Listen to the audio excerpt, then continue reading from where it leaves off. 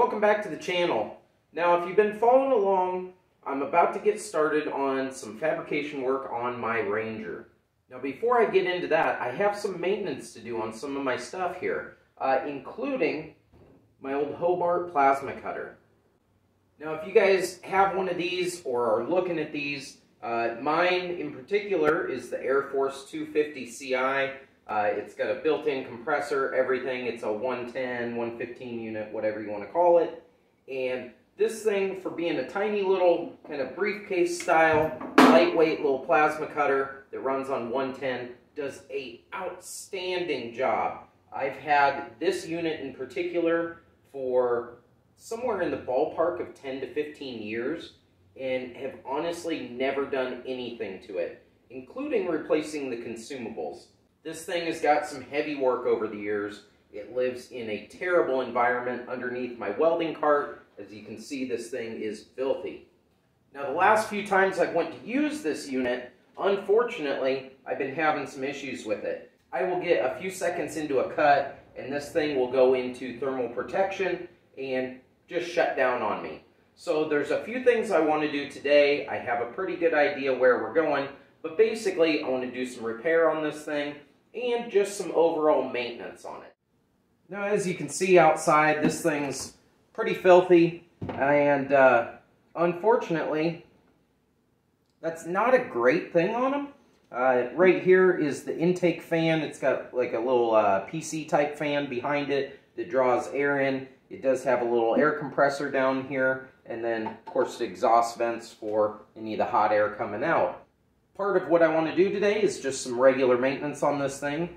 Uh, be aware that if you have one of these, uh, some of the stuff I'm going to do is probably not recommended by Hobart and uh, will more than likely void your warranty. Fortunate for me, I've been out of warranty for probably a decade on this unit. So what I want to do today is try and kind of clean it up, clean the exterior up. I'm going to pull all the case screws out. I'm going to blow all the dust and debris out of the interior of this thing. And finally, I'm going to look into why this thing's going into protection mode and hopefully remedy that issue. So, to start off with, I just want to give the outside of this thing a good cleanup. Uh, really get it looking good. Nothing too fancy here. I'm just going to use some glass cleaner, a rag, and uh, once I get through with that, just a little compressed air. And uh,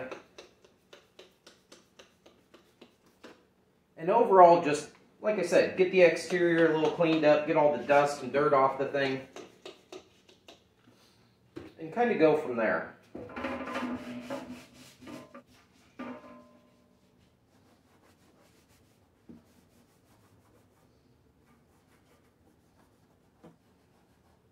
So I won't bore you with scrubbing this thing down, but uh, yeah, I'm going to get the outside cleaned up real quick, and then we'll start zipping these screws out. Alright, nothing too crazy here, just got a little uh, 8 millimeter socket chucked up in the old drill here. And just run the uh, 11 billion screws out of the case. Like I said, keep in mind that if your unit's still under warranty, this may be frowned upon by Hobart. I'm not sure how they feel about opening cases. So I'm just doing this to better access it. get it on there. I'm just doing this to better access the unit and uh, be able to blow any dust and debris out of the inside of it. So here we go. We'll lift this thing off. If you've never seen what the inside of a plasma cutter or a welder or anything like that look like. There you go. Obviously, you want to be careful digging in here, it, touching anything. There's a lot of high current electric stuff in here. So I'm going to keep my fingers out of the mix here. And uh, I'm obviously not going to spray any any stuff on it. I'm not even going to put glass cleaner or anything like that on it. Really, I just want to get in here with the air gun and be able to blow all this dust and dirt out of here. You can see down in the bottom of the case, hopefully you can see that, just a heavy layer of dust. Can't be great on the uh, compressor. I may see if I can get the air filter out of there and blow that out while we're in here. But overall, just a lot of dirt and grime in here that I want to get cleaned up. Because as we all know, electronics, they love dirt and grime. Alright, just got the uh, shop air hooked up here. And like I said, just blowing this thing out. Nothing too crazy.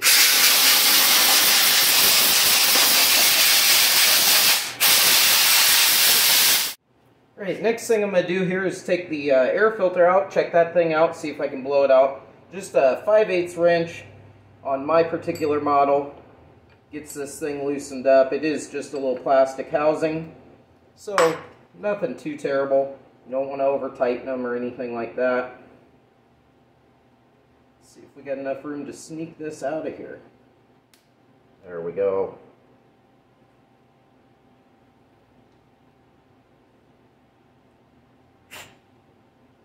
There we go. Just a little tiny kind of felt filter and then also a little piece of foam. It doesn't look too terribly dirty, but I'm still going to blow this thing out anyway and uh, yeah, we'll go back together with it.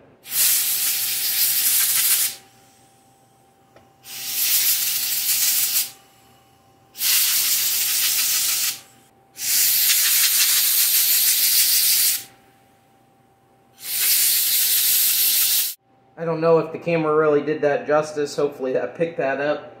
But there was a surprising amount of dust and crap in both of these filters. So, just pop her back together here, line the tabs up, snap her in place. There we go, easy as that. Screw it back on, and we're done with that portion.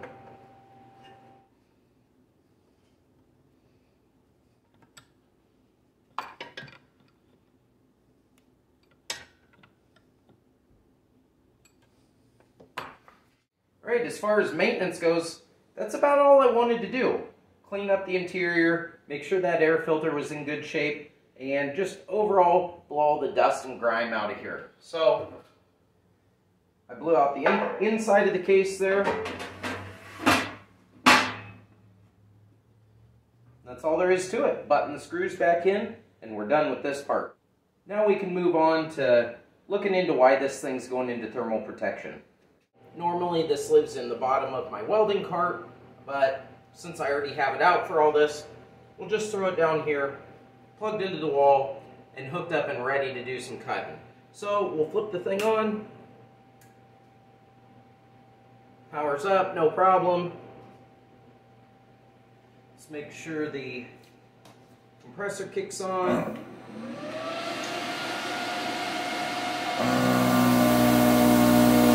Kicks on. I got good airflow out of the thing. Yep. Everything's working as it should. Let's try and cut some metal with it. Alright, so I tried to set this thing up as best as possible to where you can see me cutting and watch the plasma cutter and see what it does. So I just got a piece of scrap sheet metal. This shouldn't be anything for this plasma cutter to go through. Used to do it like butter. So Let's see what we get here.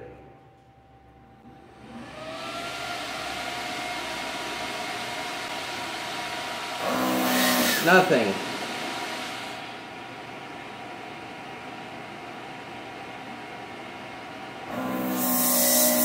Compressor will run, but it's flashing the cup light now, which is interesting. Nope. Still flashing the cup light. Well, let's take a look into this. Well, as I've said before, I have over a decade in using this machine and really have, to be honest, neglected it. I've never once changed the consumables in this thing, and it shows. And, uh, you know, like I said, overall, this thing's been a trooper. So, we'll dig into this.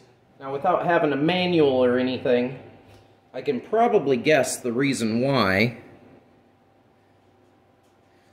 it's setting a cup fault. So we'll take a look at this. My cup on this has obviously seen better days. The tip on it just pushes back through the cup. Should push back through the cup. If it wasn't in such rough shape. There's your tip. That thing's seen better days. That needs to be replaced definitely. Internally, the cup itself doesn't look too bad, though the outside is completely fried. That needs to be replaced as well. Now here's what is concerning. If you look at the actual tip in here. Oh, first of all, it's loose, which is cool. The tip is completely melted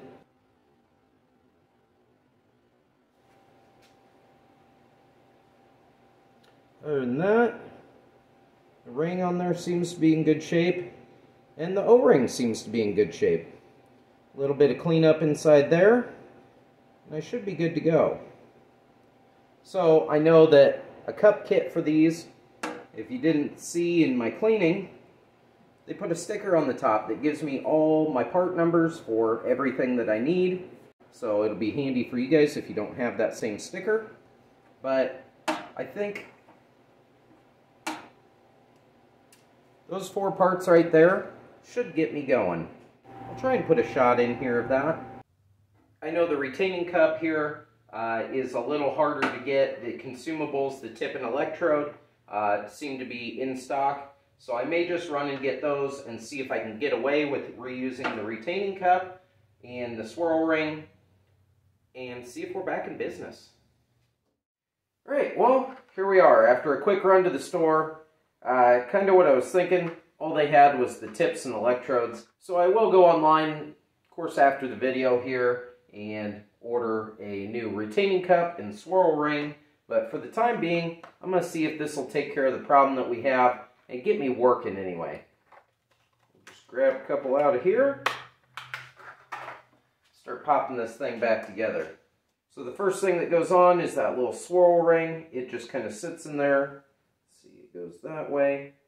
There's a little bit of tension. The electrode then just screws on there. Give that a little tiny snug. See if I have small enough wrench. I sure do. That's just a little quarter inch wrench. Not going to crank that thing on there. Tip, of course, the one that was in there before fought me. This one just slides in nice. Nice tight fit on there. And we'll pop this all back together.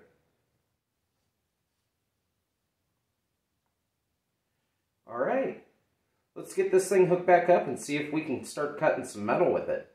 All right, same deal as before. I got the plasma cutter plugged in. It's turned on. Everything's ready to roll. So let's see what we got.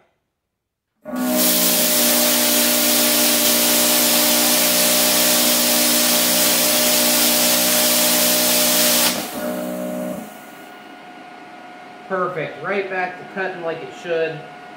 Just through this stuff like it's nothing. That's awesome.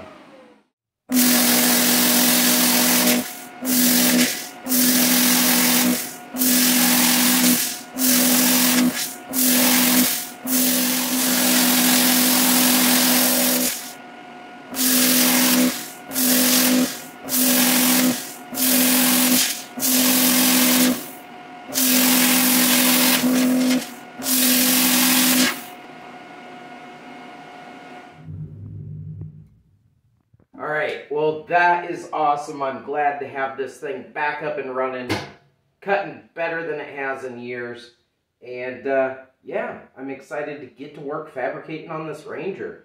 This thing is definitely handy, and if you guys haven't used one before, I highly, highly recommend it. So I definitely got some work cut out for me. Haha, cut out. Eh. Anyway, I tried. On the old Ranger here, and uh, yeah, I hope you'll join me for that one. Definitely going to be diving headfirst into some of the fabrication work, cutting, welding, doing all that. And, uh, you know, like I said, hope you join me for that one, where this thing is going to get another good workout on another one of my projects. So, yeah, that's about it. We'll catch you next time. Thanks for watching. Come on with me, little buddy. Let's go back to your home.